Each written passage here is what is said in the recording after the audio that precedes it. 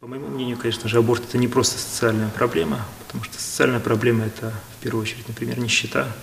Проблема аборта – это проблема духовная, духовно-моральная, когда человек совершает откровенный грех убийства, убийство нерожденного ребенка и таким образом уничтожает жизнь. Здесь вопрос очень, я бы сказал, мировоззренческий.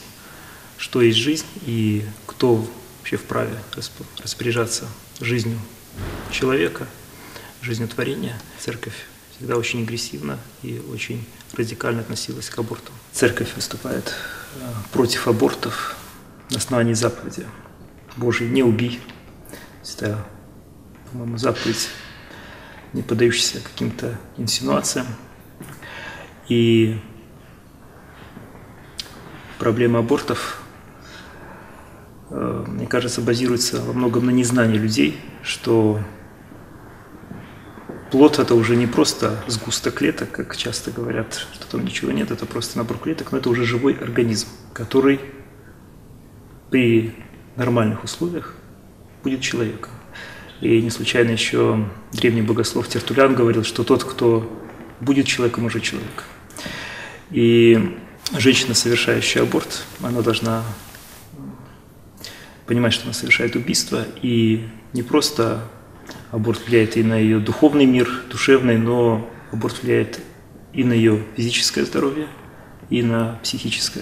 То есть есть такое понятие, как постабортный синдром, когда человек а, впадает в такие депрессивные состояния. И человек, решающийся на аборт, он совершает тяжелый грех перед Богом и перед самим собой, наверное, в первую очередь, потому что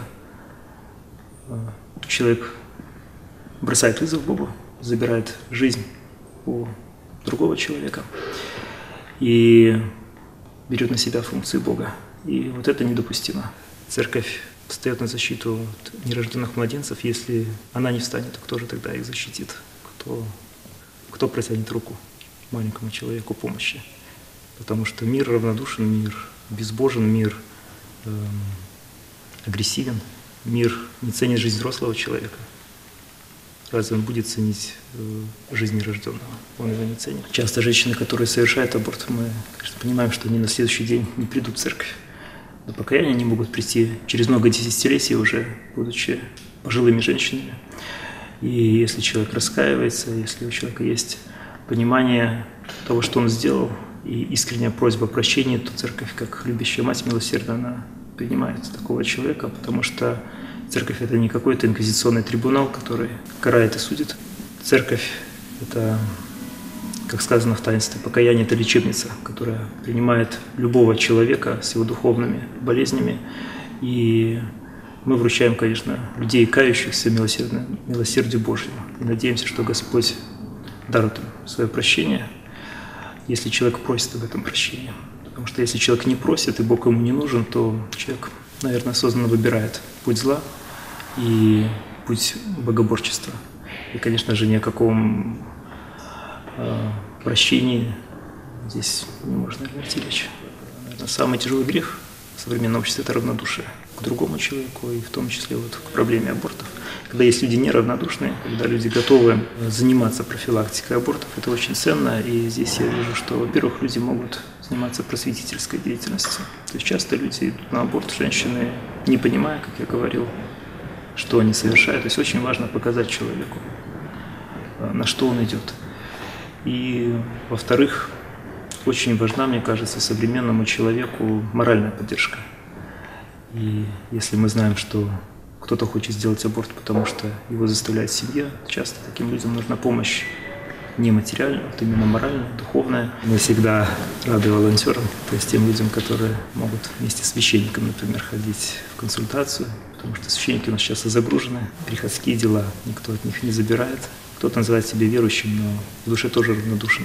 И вот это тоже проблема, когда мы пребываем брешь не только в равнодушии безбожия, но и в равнодушии верующих профилактика абортов, она действительно держится на таком энтузиазме неравнодушных людей, э, которые идут, наверное, против мнения большинства. Потому что действительно современный мир, так называемый мир, который пропагандирует свободу человека, и в том числе право, права человека всевозможные, он противоречит, конечно же, Христу и тому, что говорил Христос. Если значительная часть граждан осознает, что аборт – это плохо, то, думаю, мы сможем совместно переломить ситуацию, которая на данный момент э, в государстве очень нехорошая, очень, так, даже, я бы сказал, критическая, что Республика Беларусь одна из самых либеральных законодательств по отношению к аборту.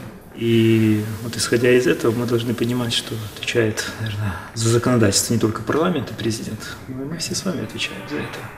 Мы отвечаем за то, какие законы принимаются, за то, как мы их не только исполняем, но и что нам говорят исполнять. И если люди поймут, что принцип «моя хата с краю, ничего не знаю», это принцип плохой, нехороший, что человек, живущий в обществе, он не может быть от него свободен, но и государство не может быть свободно от людей. Государство без народа – это просто ненужный механизм тогда. И если мы осознаем, то мы сможем преодолеть это. И никакие, наверное, силы не смогут нам помешать. Если не поймем и этой темой будут заниматься только какие-то отдельные энтузиасты, добровольцы, то, конечно же, ситуация будет, мне кажется, только ухудшаться. А в белорусском законодательстве есть такое понятие, как социальные показания – которым женщина прерывает беременность. И, наверное, вообще задача церкви на данный момент добиться, чтобы эти показания были уменьшены. Желательно значительно. Многие в государстве говорят, что не за традиционные ценности, но дела их свидетельствуют в обратном. И чтобы не было такого лицемерия, они должны, конечно, решиться на ну, такой очень правильный шаг. Если мы говорим о том, кто должен поднять тему проблемы абортов или профилактики абортов, то, конечно же, сама женщина, потому что предназначение, предназначение женщины – быть матерью. И вот это самая, наверное, главная миссия женщины, э, ее генеральная линия. Все остальное – это что пропагандируют СМИ, карьера, работа. Это все может успешно сочетаться – с ролью матери. Каждый человек должен понимать, что он Богом поставлен в определенное место в определенное время. И часто человек думает, что он не может совершить добрые дела, что он, у него для этого нет, например, материальных средств, нет сил, нет времени. Но это ошибочная позиция. Я часто люблю повторять, что Бог не мерит добрые дела весами. В очах Божьих любое мало-мальски доброе дело, оно очень ценно. Не случайно еще Иоанн Златоуст говорил, что Христос и намерение целует человека. И вот если каждый человек на своем посту, на своей маленькой даже должности какой-то, будет понимать, что аборт это плохо, и в трудную минуту протянет руку помощи вот женщине, которая по каким-то обстоятельствам желает прервать беременность и поможет ей, поможет ей вот сохранить ребенка. Это очень важно. И вот из таких маленьких дел совершается великое, большое христианское доброе дело.